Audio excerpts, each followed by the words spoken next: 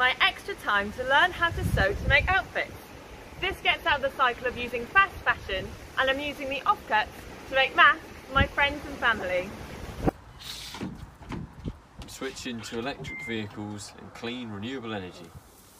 And switching to a plant-based diet.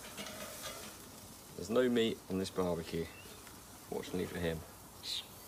I'm committing to cutting carbon by buying produce from my local farm shop. So this year I'm growing wildflowers. This will give me a steady supply of cut flowers in the summer and help the bees in our garden. Oh, hi there. Cycling. Good for lowering emissions, good for nature and good for you. We've put in a new washing line this summer so we can dry our clothes naturally. I'm helping cut carbon at home by growing my own veg, so these uh, runner beans are coming on beautifully.